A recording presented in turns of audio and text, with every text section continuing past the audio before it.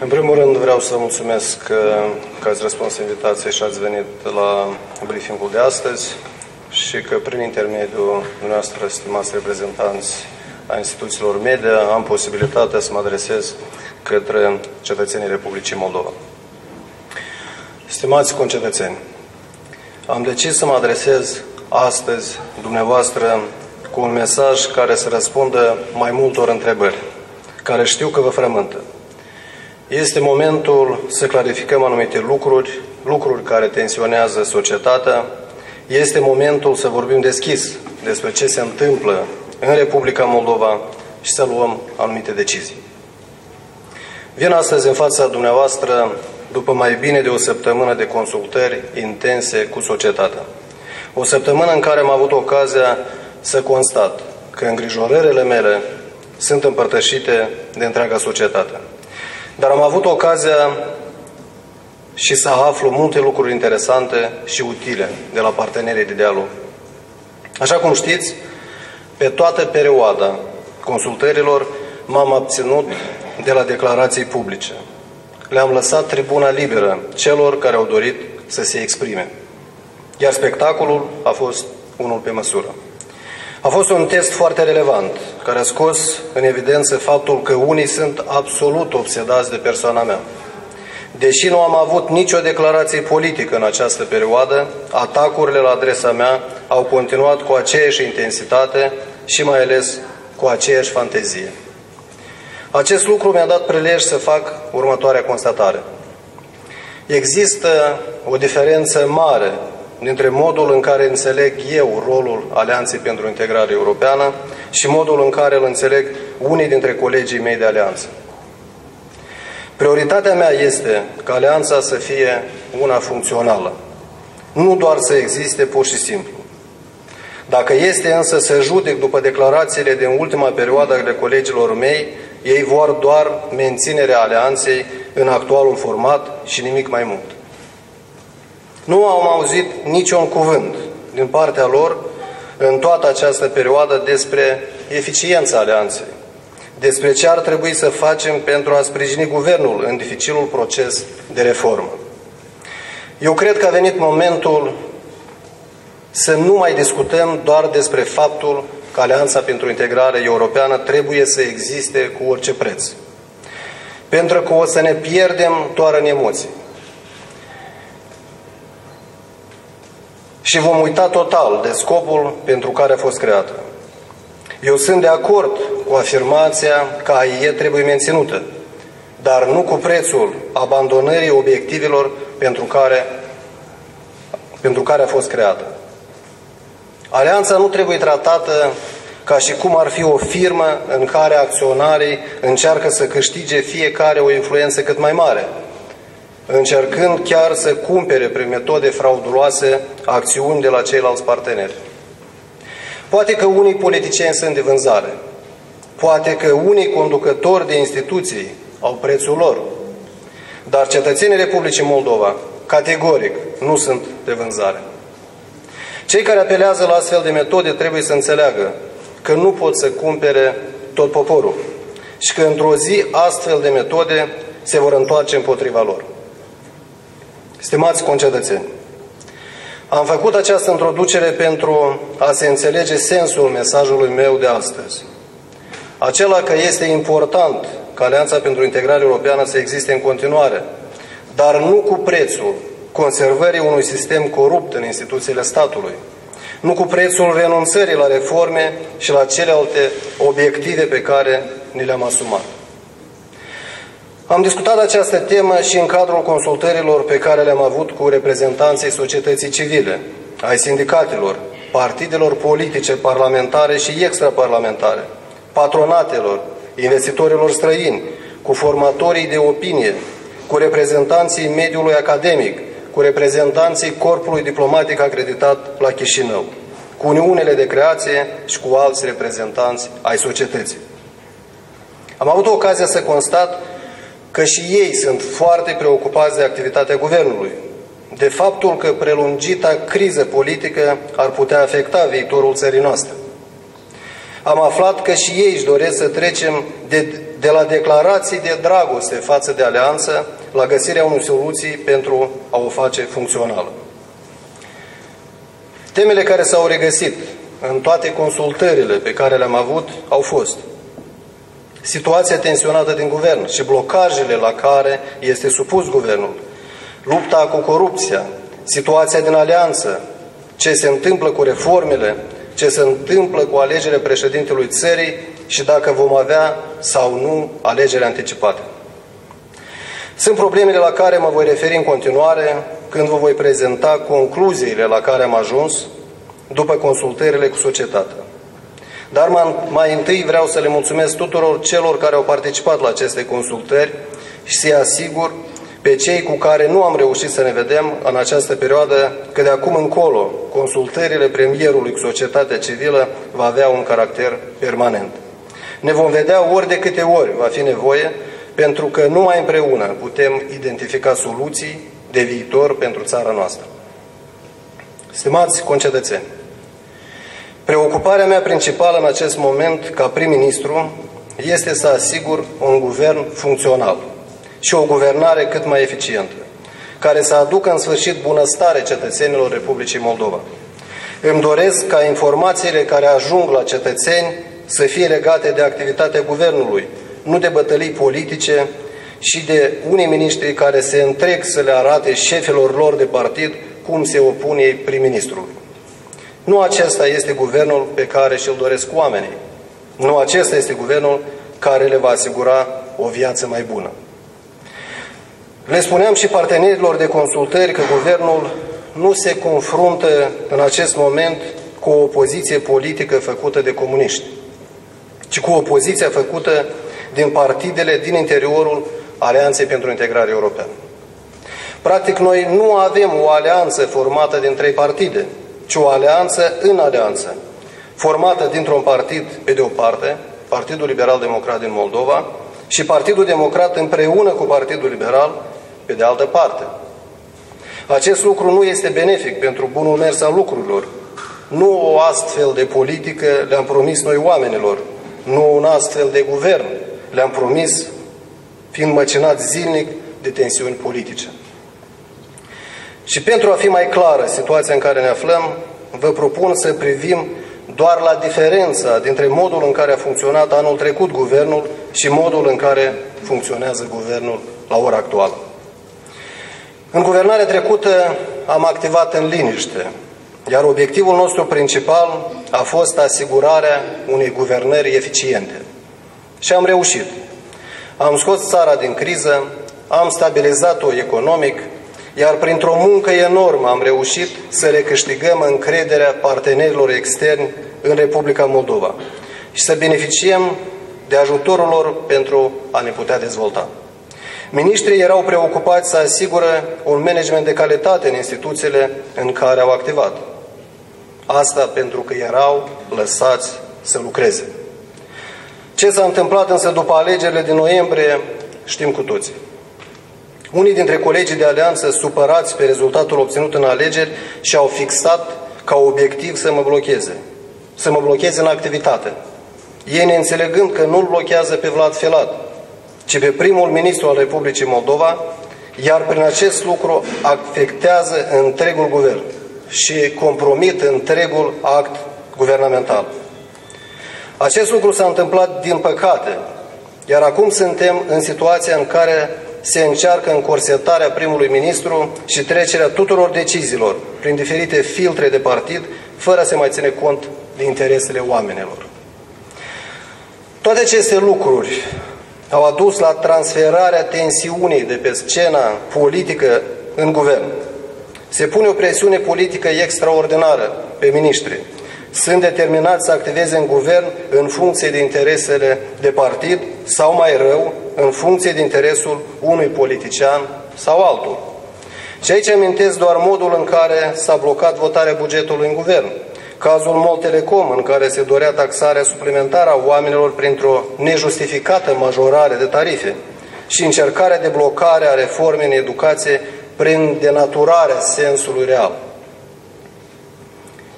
Și voi mai da doar un exemplu, din multele altele.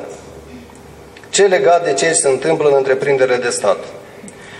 Noi spunem mereu că una dintre marele probleme cu care se confruntă cetățenii sunt prețurile mari și că statul nu poate face mare lucru în a opri aceste creșteri de prețuri. Acest lucru nu este adevărat.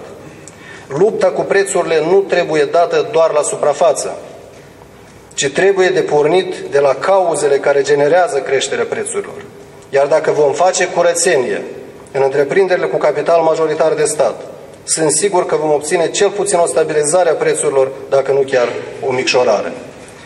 Nu voi accepta niciodată ca cetățenii să plătească prețuri mai mari la telefonie doar pentru că Telecom a făcut niște investiții nerentabile sau să plătească un preț mai mare pentru pâine pentru ca cineva a administrat defectuos întreprinderea frazeluță. În acest sens, am ținut să fac publice aceste lucruri pentru ca toată lumea să înțeleagă acțiunile primului ministru din ultima perioadă și să spun că nu mă voi opri aici. Voi continua să muncesc pentru ca să eliminăm schemele frauduloase din aceste întreprinderi, indiferent cât de puternice se cred personajele care stau în spatele acestora. Nu voi accepta ca Moldova să mai ajungă vreodată un stat luat în captivitate de o forță politică sau de vreun grup de interese. Și le transmit un mesaj celor care încearcă să facă aceasta, că sunt dispus să, să pierd enorm în planul imaginii personale, însă lupta o voi duce până la capăt. Sunt conștient că nu întâmplător presiunile politice asupra guvernului dar și asupra prim-ministrului, s-au accentuat în momentul în care am început lupta cu aceste scheme frauduloase. Este, dacă vreți, o reacție a sistemului care a condus țara timp de foarte mulți ani și care o opune acum o ultimă rezistență. Însă noi nu trebuie să uităm nicio clipă cine a creat acest sistem și faptul că unii dintre cei care au creat acest sistem se află încă în funcție de conducere iar alții sunt chiar în structurile de conducere a Alianței pentru Integrare Europeană, prin intermediul unor funcții sau intermediul unor funcții obținute conjunctural. Întrebarea este însă în ce măsură noi, cei care asigurăm guvernarea, dorim să ducem această luptă cu sistemul până la capăt și să curățăm instituțiile, instituțiile asigurându-le funcționalitatea. Iar aici vreau să vă spun cum văd eu lucrurile. 1. Republica Moldova trebuie să aibă instituții funcționale. Instituții care să nu fie resetate de câte ori să schimbă partidele la guvernare. 2. Urmează să le redăm oamenilor aceste instituții ale statului care să muncească pentru ei, nu pentru grupuri de interese.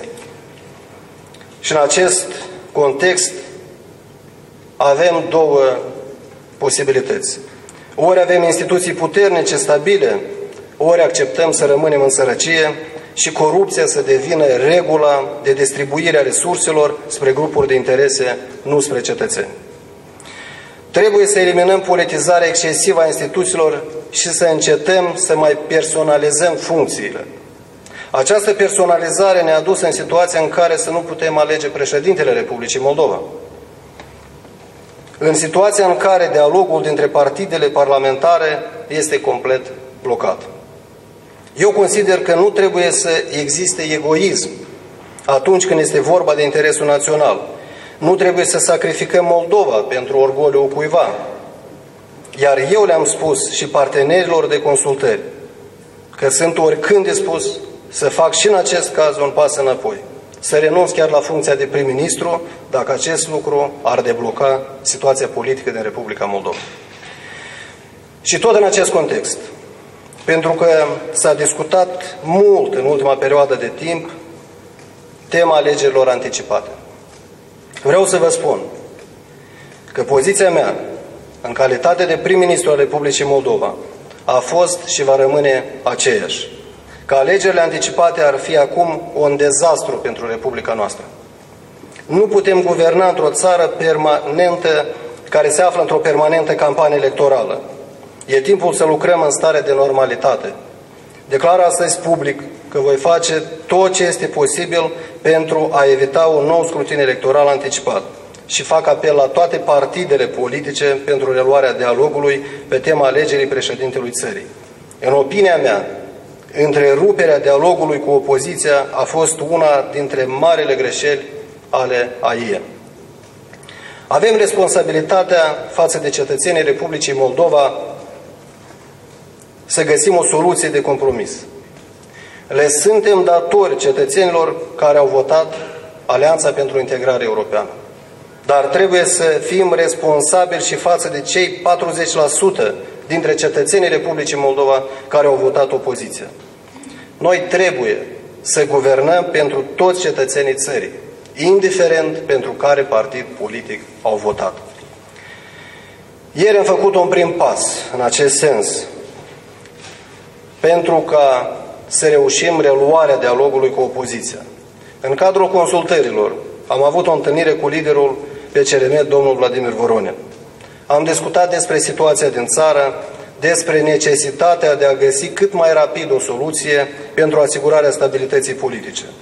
Întâlnirea de ieri a fost și este o dovadă că putem avea un dialog civilizat și sper că în perioada următoare acest dialog să aducă la rezultate concrete, care să ducă la încheierea crizei constituționale în Republica Moldova.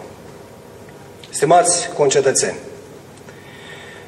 tot în acest context vreau să menționez că unul dintre formatorii de opinie care a participat la consultări mi-a spus că pericolul care pândește acum Republica Moldova nu este comunizarea, ci mafiotizarea.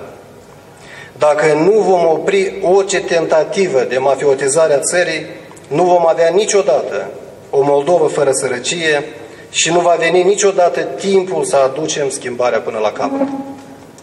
Iar aceste cuvinte vor rămâne pentru totdeauna doar slogane de campanie electorală. Trebuie să recunoaștem că noi nu luptăm cu comuniștii acum. Ei s-au izolat și așteaptă momentul oportun să revină la guvernare. Nu putem să mai continuăm să dăm vina doar pe ei. Curând o să facem doi ani de guvernare, iar acest argument își pierde deja din consistență. Eu sunt perfect conștient, conștient că cetățenii nu ne vor judeca după cât de eroi am fost în lupta cu comuniștii, mai ales că în ultimul timp îi avem pe foarte mulți care se declară eroi, ci după câte lucruri bune am făcut pentru țara noastră, câte lucruri bune am făcut pentru cetățenii noștri. Alegerile locale din municipiul Chișinău este o demonstrație clară pentru toți cei care urmăresc procesul politic din Republica Moldova. Iar un lucru care pentru mine este principial, eu nu mai vreau ca în Republica Moldova să luptăm tot timpul împotriva ceva sau împotriva cuiva. Vreau ca noi toți să luptăm pentru ceva. Să luptăm pentru Republica Moldova. Să luptăm pentru a integra țara noastră în Uniunea Europeană. Să luptăm pentru a asigura drepturi, libertăți și bunăstare cetățenilor noștri.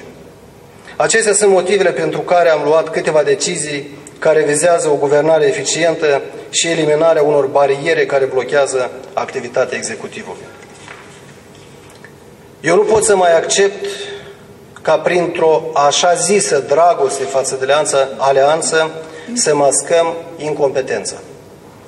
Unii dintre conducătorii de instituții, iar aici nu mă refer doar la guvern, se cred veșnici în funcții datorită faptului că se știu apărați de algoritmul politic care au dus la numirea lor. Dar dincolo de algoritm e nevoie de competență, și afirm clar că nu toți conducătorii de instituții își fac treaba așa cum ar trebui. Unii au aflat despre reformă doar de la televizor. Nu au făcut nimic în ceea ce privește reformarea instituțiilor pe care le conduc. Aceste lucruri nu vor mai fi acceptate, pentru că ne dorim să asigurăm o dezvoltare reală a țării noastre. În situația actuală, AIE are două probleme importante de rezolvat. să asigure eficiență actului de guvernare și să asigure stabilitatea politică pentru depășirea efectelor crizei constituționale. De aceea le voi propune colegilor de alianță câteva modificări esențiale care ar asigura depășirea problemelor respective. Le voi propune ca fiecare partid în alianță să facă în perioada următoare o evaluare a activității conducătorilor de instituții pe care, în care i-au numit. Lucru pe care îl vom face și în PLDM. După care să discutăm în cadrul alianței pe marginea acestor evaluări și să luăm deciziile care se impun. La aproape 2 ani de la guvernare, de guvernare, e cazul să vedem dacă cei pe care i-am numit în funcții își fac cu adevărat treaba. În calitatea mea de prim-ministru, le voi prezenta de asemenea o evaluare în ceea ce privește activitatea cabinetului și propunerile mele de remaniere. Aceste propuneri nu îi va viza doar pe miniștri, ci și pe conducătorii unor instituții din administrația publică centrală. Scopul acestor remanieri este eficientizarea guvernului și dinamizarea implementării procesului de reformă. De asemenea, voi solicita colegilor din alianță depolitizarea instituțiilor de drept. Și aici mai refer la justiție, SIS, Procuratura Generală, Ministerul Afacerilor Interne, Centrul pentru combaterea crimelor economice și corupție. Aceste instituții au sarcina și responsabilitatea de a asigura aplicarea legii, însă ele sunt încă parte a unui sistem vicios și corupt. Și acest lucru îl cunoaștem cu toții. Cu toate acestea mai avem o problemă care ține de politizare excesivă acestor instituții. Iar acest lucru, această situație, afectează grav procesul de reformare, pe de o parte, iar pe de altă parte, eficiența acestor instituții.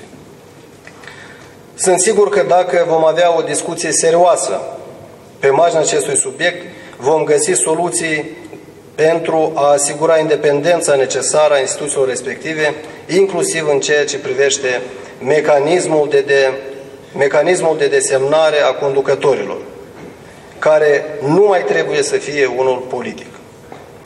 Am decis să le propun partenerilor de guvernare adoptarea legii cu privire la responsabilitatea ministerială, astfel încât fiecare membru a Cabinetului de Ministre să poartă răspundere personală pentru activitatea desfășurată. Voi iniția demersurile pentru amendarea legii cu privire la guvern, prin eliminarea prezidiului, care s-a dovedit, așa cum anticipam, un instrument birocratic și inutil. Voi avea însă grijă să asigur în continuare în cadrul ședințelor de guvern mecanismele prin care deciziile care se iau să fie adoptate democratic, așa cum s-a întâmplat și în precedentul meu mandat. Când am funcționat foarte bine fără acest prezidiu, pe care nu o să-l regăsiți în niciun guvern democratic. De asemenea, voi propune revenirea la forma precedentă de adoptare a deciziilor în guvern, cu majoritatea voturilor membrilor cabinetului prezenți la ședință. Este o procedură aplicată în instituțiile democratice din întreaga lume, inclusiv, dacă urmăriți, și în Parlamentul Republicii Moldova. Tot în ceea ce privește activitatea mea, ca prim-ministru, nu voi mai accepta să lucrez cu miniștri care nu duc la îndeplinire sarcinile pe care le primesc și care se preocupă mai mult să aducă critici colegilor de guvern decât să muncească. Cei care nu sunt în stare să se ridice la nivelul demnității de ministru nu au ce căuta într-o echipă guvernamentală. Stimați concetățeni, având în vedere faptul că instabilitatea politică încetinește implementarea reformelor, procesul de atragere a investițiilor străine și afectează imaginea țării noastre în exterior. Consider pentru această problemă ca fiind una, consider că această problemă fiind una din, de importanță majoră. De aceea, le voi propune colegilor din alianță să reluăm imediat dialogul pe marginea depășirii efectelor crizei constituționale. La moment eu văd două posibilități reale de evitare a alegerilor parlamentare anticipate. Prima, identificarea de către toate partidele parlamentare în urma unui dialog constructiv a unei candidaturi de consens pentru funcția de președinte al Republicii Moldova. La cum stau lucrurile în Republica Moldova acum, se creează impresia că doar o persoană anume poate să fie președinte al țării, doar o persoană poate să fie președinte a Parlamentului și doar o persoană poate fi prim-ministru. Lucrul care nu este corect. În Republica Moldova sunt foarte multe persoane, sunt foarte multe personalități care întrunesc condițiile și calități necesare pentru ca să dețină aceste funcții. Cea de-a doua soluție pe care o văd este amendarea soledară de către toate fracțiunile parlamentare a Constituției cu scopul revenire la procedura de alegere a președintelui de către întreg poporul. Este un lucru firesc că atunci când Parlamentul nu este în stare să rezolve această problemă, problema să fie rezolvată de către cetățenii țării. Aici fac o precizare importantă. Aceste propuneri nici de cum nu pot fi privite ca o reformatare a alianței, noțiune care se pare a intrat puternic în vocabularul unor politicieni și care este folosită cu orice ocazie. Este, de fapt, dacă doriți, o resetare funcțională a alianței, un procedeu absolut necesar pentru a asigura stabilitatea în țară și eficiență în actul guvernării. În ceea ce privește procesul de reformă, trebuie să constat astăzi că guvernul nu are sprijinul integral din partea partidelor din Alianța pentru Integrare Europeană. Nu putem să continuăm să luăm decizii privind reforma la guvern, după care în Parlament sau la partid aceste reforme să fie criticate și blocate. Nu poți să fii la guvernare, dar în același timp în opoziție. Pentru a eficientiza procesul de reformă, voi pune în aplicare o propunere venită din partea mai multor parteneri de consultări. Voi crea Comitetul Național pentru Reformă, dintre, din care va face parte toți membrii Guvernului, dar și reprezentanți ai societății civile. Rolul acestui comitet este de a monitoriza modul în care se desfășoară procesul de reformă, de a veni cu recomandări în ceea ce privește procesul de implementare. În acest fel, vom implica și societatea în procesul de luare a deciziilor referitoare la procesul de reformă.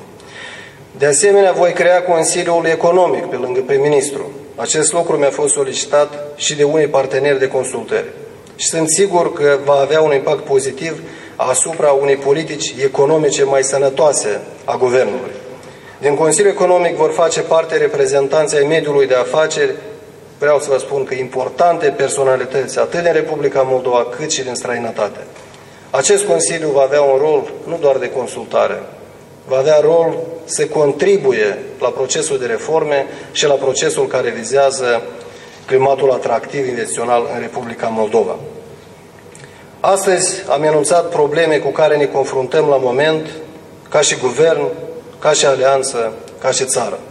Acum trebuie ca împreună cu colegii din alianță și cu colegii noștri din opoziție să venim cu soluții, să le demonstrăm oamenilor că suntem cu adevărat în serviciul lor, să luptăm cu corupția, și să demonstrăm că ne pasă de viitorul acestei țări și să depunem eforturi pentru ca acest viitor să fie unul mai bun. Perioada următoare va fi un adevărat test de maturitate politică, de responsabilitate civică și atașament față de interesele cetățenilor și ale țării. Vom vedea cine va reuși să treacă acest test. La finalul acestei perioade vom putea trage și unele concluzii privind evoluția situației în continuare. Am spus și mai spun, nu eu voi fi cel care va rupe alianța. Cel mai mare dușman al Alianței pentru Integrare Europeană, cât nu ar părea de straniu, sunt chiar membrii săi. Dacă toți vom înțelege acest lucru și vom acționa în consecință, Alianța are viitor. Dacă nu, fiecare să-și asume partea sa de responsabilitate. În final, alegătorul este cel care ne va judeca. Personal, profit de ocazie și îmi reiterez angajamentul ferm de a acționa și în continuare, pornind strict de la interesul cetățenilor. Sunt gata să procedeze la fel și colegii noștri din alianță? În scurt timp vom afla acest lucru. Este mai important ca niciodată să nu ne lăsăm prada emoțiilor, să fim raționali, să dăm dovadă de înțelepciune și de spirit constructiv. Oamenii așteaptă de la noi nu emoții, ci soluții, respectarea angajamentelor pe care ne le-am asumat și anume de a asigura Republicii Moldova un viitor, un viitor democratic, european și prosper. Pentru realizarea acestor obiective, în calitate de prim-ministru, reafirm că prioritatea mea este implementarea reformelor și lupta împotriva corupției.